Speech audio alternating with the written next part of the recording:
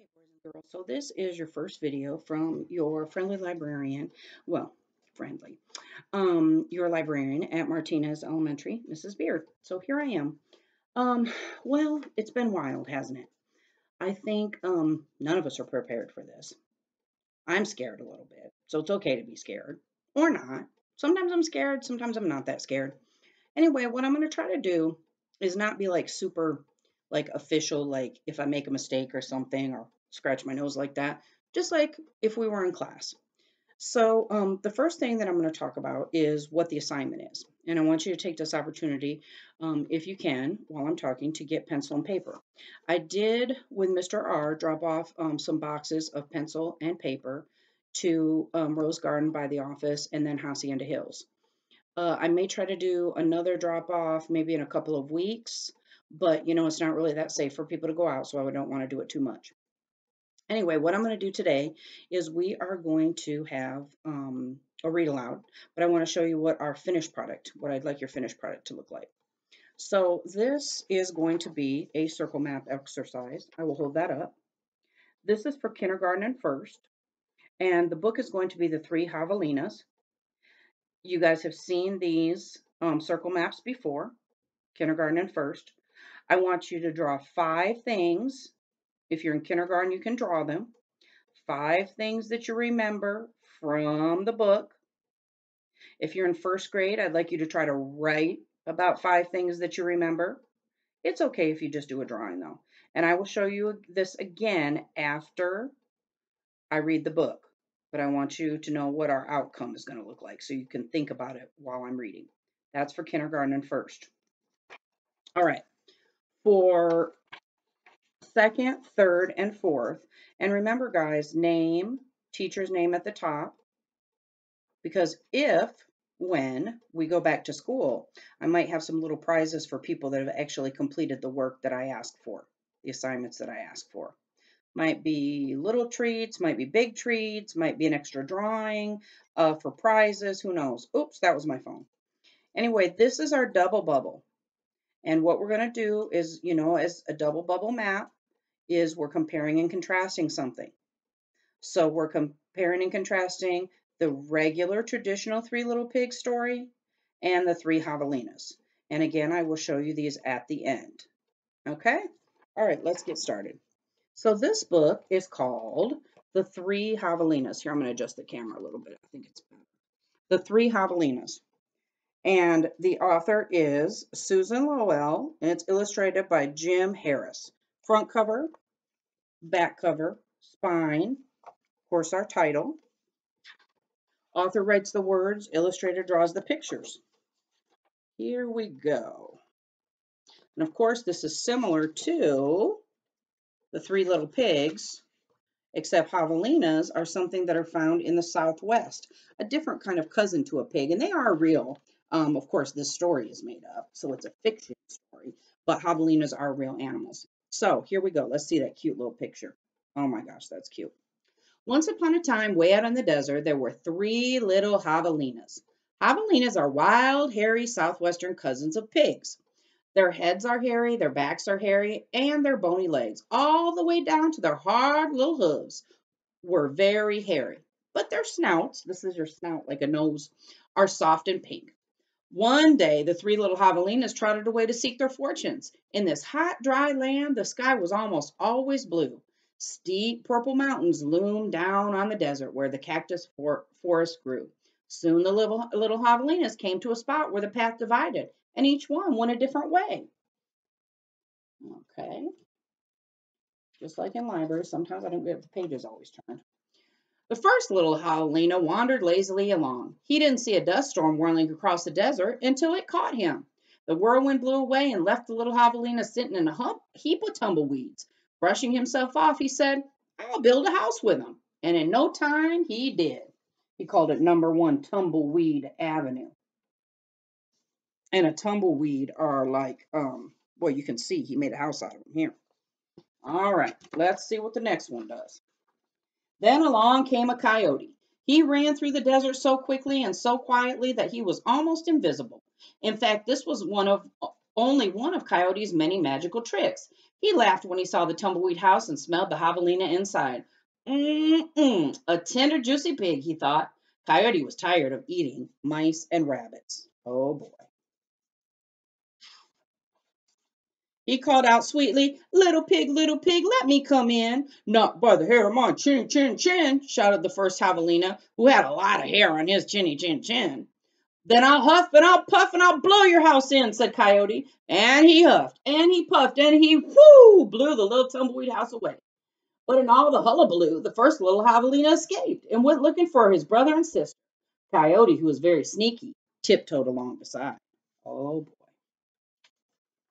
The second little javelina walked for miles along the giant cactus plants called saguaros. They held their ripe red fruit high in the sky, but they made almost no shade, and the little javelina grew hot. Then he came upon a Native American woman who was gathering sticks from inside a dried up cactus. She planned to use these long sticks called saguaros, saguaros ribs to knock down the sweet cactus fruit. The second little javelina said, Please, may I have some sticks to build a house? Hau, she said, which means yes in the language of the desert people. Oh, look, there he is, hot. And there is the indigenous person or the native person showing him how it's done.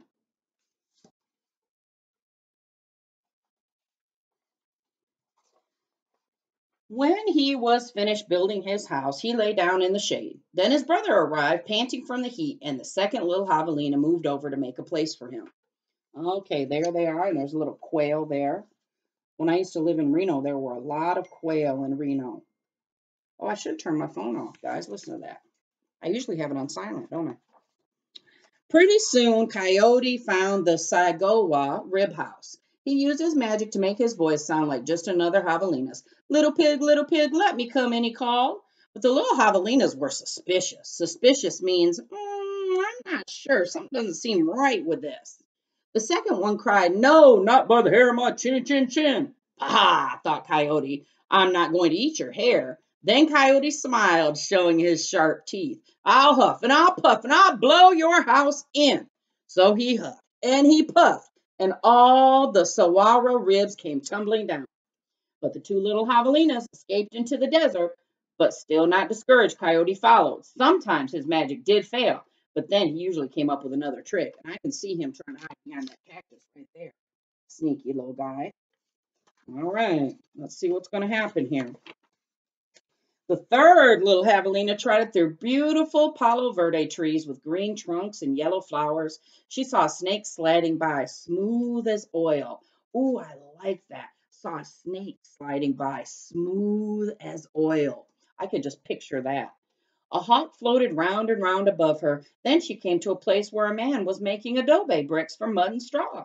The bricks lay on the ground baking in the hot sun. The third javelina thought for a moment and said, May Please have a few adobes to build a house? Si, said the man, which means yes in Spanish, the brickmaker's language. Okay, so this javelina story, this Three Little Pigs, there's a girl. I think in the um the original one, it's three brothers, I think. Oh, this looks like a nice house. So the her, third javelina built herself a solid little adobe house, cool in summer and warm in winter. When her brothers found her, she welcomed them in and locked the door behind them.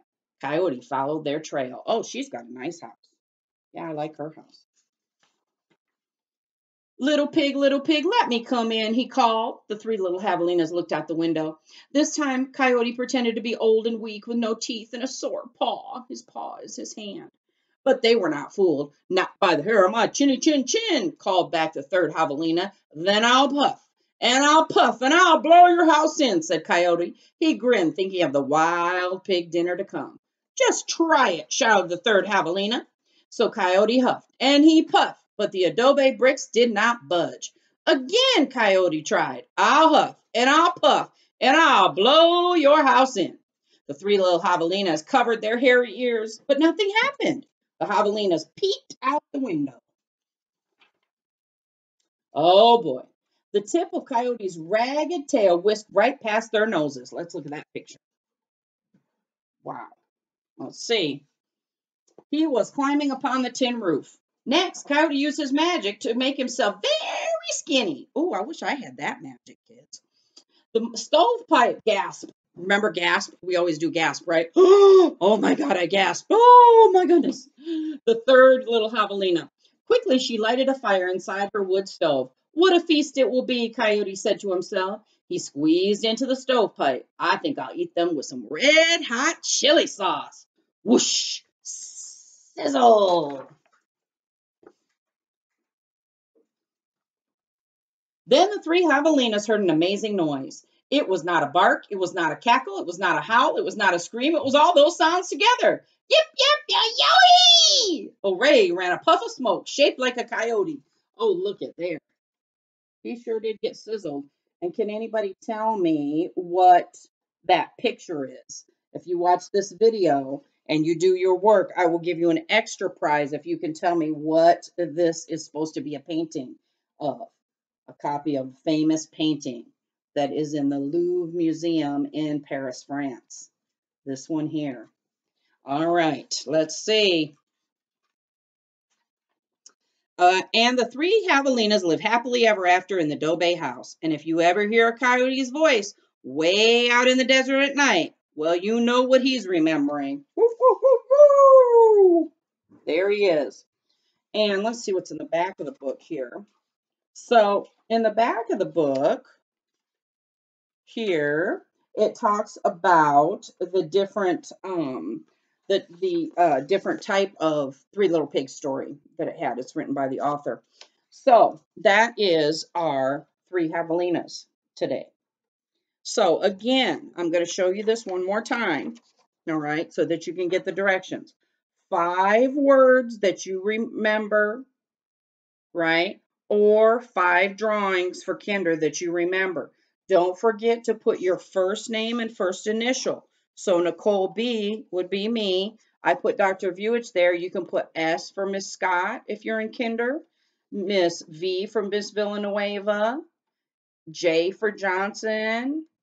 R for Rodriguez. You guys know what to do. Okay, that's for kinder and first. The three javelinas. Now, for second, third, fourth, and fifth, you're going to do a double bubble map. First name, last name, and full teacher's name. Okay? Um, so you're looking for three javelinas compared to the three little pigs. Don't copy mine. You can look, maybe you have some of the same ideas. These are the things they share. These are the things that are different.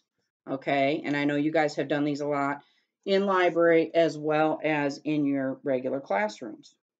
Okay, so that's our story for today.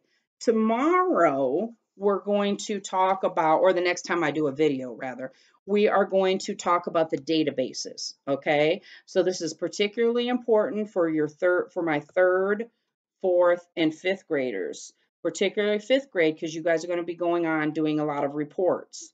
So I'm going to give you the passcodes where you can log into CultureGrams and World Book um, from a device. Now, I understand not everybody's got a computer. Not everybody's going to be able to see this, um, which, you know, is a bummer. Libraries are closed, so I can't say go to the library.